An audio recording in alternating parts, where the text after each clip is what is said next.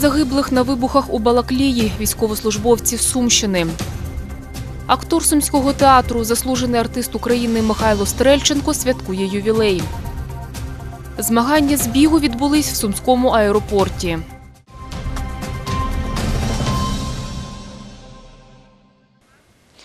Новини суботи на Суспільному. Вітаю.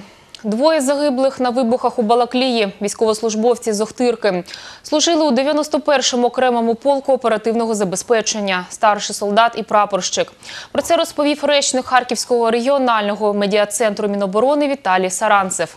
Також один з поранених у Балаклії військових – мешканець Сумщини. Зараз він у стабільно важкому стані. Про це розповів Суспільному завідувач опікового відділення Харківської лікарні невідкладної допомоги Аслан Цогоєв. За його словами, пацієнт має 20% опіків тіла. В подальшому потребуватиме оперативних втручань з пересадки шкіри. Наразі відомо про п'ятьох травмованих в результаті вибуху. Двоє з Чугуєва, один з Кіровоградської області, один киянин і один з Охтирки. Як вчора повідомив Суспільному прес-секретар Збройних сил України Богдан Сеник, у Балаклії у спеціальному котловані відбулось знищення боєприпасів. Вибухи пролунали в день 15 листопада.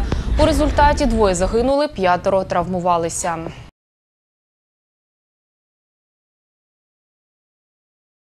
У Сумському обласному театрі для дітей та юнацтва ювіляр своє 60-річчя святкує заслужений артист України Михайло Стрельченко.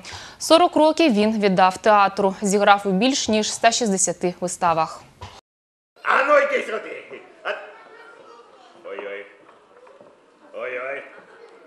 Тихо, тихо, тихо, тихо, тихо, тихо, тихо, тихо. Приїхав до Сум по направленню і планував вчитися далі. Вони мене так прийняли, і перші мої гастролі були, це ми їздили е, в Осетію, потім Грозний був два місяці. І коли ми приїхали, я просто-напросто вже не вспівав на ну, поїхати в Ленінград. Мені ще пощастило в тому плані, що, що я от такий щасливий, що е, закінчував Дніпропетровське театральне училище як лялькар, а тут реорганізація. І я попав от в таку атмосферу, що оцей театр, який ми піднімали своїми руками, ремонт робили все. І е, тодішній режисер Олег Рафилович Когут мене взяв як актора тюзавця. Тобто він повірив, що я можу не тільки ляльками, Ці 40 років сценічного життя його друг та колега Володимир Хорунжий згадує як одну мить. як один день. Стільки вистав було разом. Я навіть не можу і порахувати їх, скільки було. Працювали, він же прийшов у 80-му році, а я в 78-му. Ось, і потім він ще в армії служив. Він працює одинаково, що в драматичних ролях, що в лялькових. Йому все вдається. Він ще багато може зробити на цій сцені, дуже багато. Треба тільки щоб хотіли брати актора в роботу. Есть минное болото. И водятся там всякие гади, гадюки, гульки. Но особенно две. Змей Горыныч и сестрица его, змея подколодная. Кто змеиное болото изведет, тому корову передам. И Алену передайте. Вовки, коти, королі, Янгол, Султан та Баба Яга це не повний перелік героїв, яких втілив на сцені театру Михайло Стрельченко. Окрім того, що це талановита людина, багатогранний актор, якому підвладні і ролі комедійного плану, і ролі драматичні, і звичайно ж дитячі.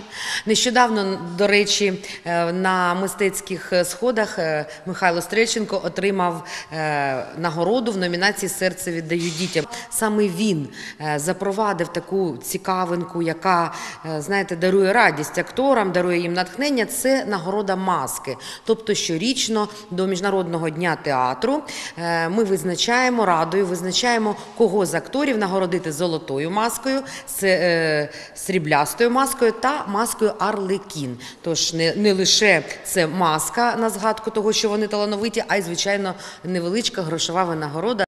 Святкувати свій ювілей іменинник вирішив на роботі. Впродовж двох тижнів у Сумському обласному театрі для дітей та юнацтва грають вистави, в яких задіяний Михайло Стрельченко.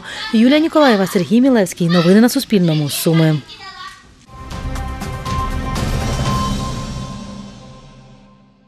Змагання для бігунів Суми Еапортран відбулись сьогодні у Сумах. Влаштували забіг вдруге на взлітно-посадковій смузі Сумського аеропорту. Як змагались спортсмени, бачили мої колеги. Цього року у змаганнях беруть участь 180 спортсменів з 9 областей України.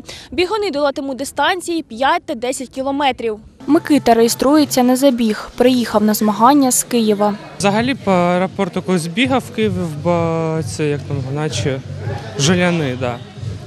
А тут ще ні. П'ять, а цю дистанцію бо давно не бігав. Пані Світлана, учасниця забігу з міста Дніпро, тренується щодня. У подібних стартах бере участь три роки. Біжу вперше по злітно-посадковій смузі. Минулого року не бігла, але чула дуже гарні відгуки, тому вирішила цього року спробувати теж пробігти.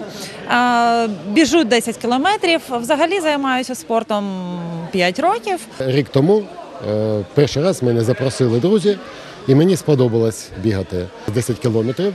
Е, Це дистанція, на котрій е, з однієї сторони це вже таки прилична відстань, да? а з іншої сторони е, я в своїх силах. На наступний рік хотілося провести тут нічний забіг, подивимося, як складеться. Е, 180 учасників менше, ніж той рік трішки, але ну нічого то таке. Е, Дистанції 5 і 10 кілометрів, 5 кілометрів одне коло, 10 кілометрів два кола.